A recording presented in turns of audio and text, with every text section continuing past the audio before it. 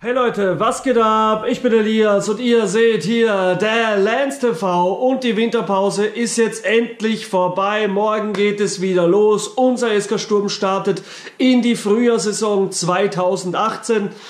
Und ähm, ja, unsere Blackies haben den SV Mattersburg als ersten Gegner vor der Brust. Es geht ins Pappelstadion gegen den SVM und die Burgenländer sind ja, wie man weiß, ähm, ja, ein unangenehmer Gegner. Das natürlich eine kampfstarke Mannschaft, also nichts, was man nicht schon vorher gewusst hätte. Interessant vielleicht, sie sind gefährlich bei Standardsituationen, genau wie unsere Jungs auch im Herbst und sie haben auch schon äh, fünfmal einen Rückstand umgedreht in der Hinrunde, genauso wie bei unseren Blackies, also durchaus parallel Parallelen zwischen diesen beiden Teams. Naja, wäre da nicht äh, zum einen die Spielanlage und zum anderen der Tabellenstand Mattersburg ja eher im unteren Drittel zu finden, äh, hat sich so im, äh, gegen Ende der Herbstsaison so ein bisschen aus den ärgsten Abstiegsnöten herausmanövriert und unsere Blackies eben auf Platz 1 mit Red Bull Salzburg im Nacken.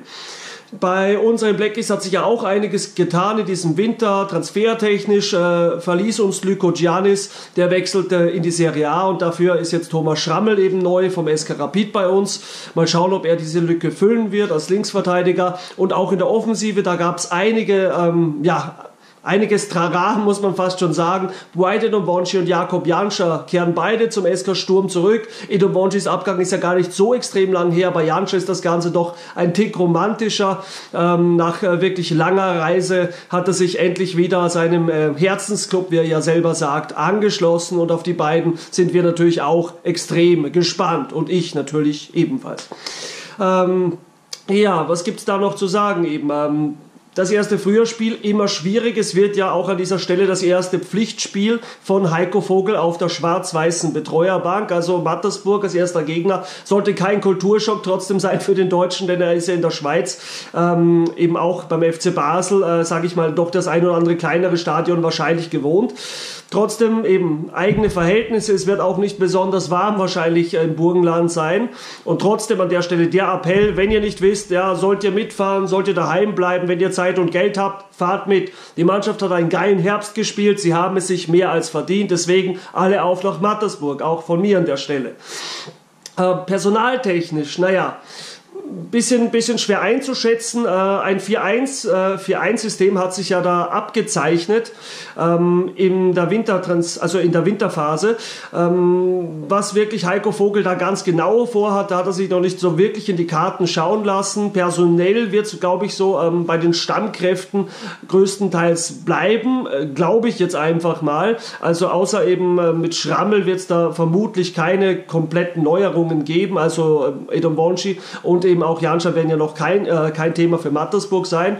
Also deswegen ähm, glaube ich, wird es beim alten Eisen größtenteils bleiben. Eventuell, so meine Mutmaßung, könnte Martin Ovenstad eine der Überraschungen in der Startelf vielleicht sogar sein. Aus dem Grund, weil eben Django und Hirländer beide gesperrt sind und Ovenstad in der Vorbereitung, was ich so mitbekommen habe, relativ viele Spiele auch gemacht hat.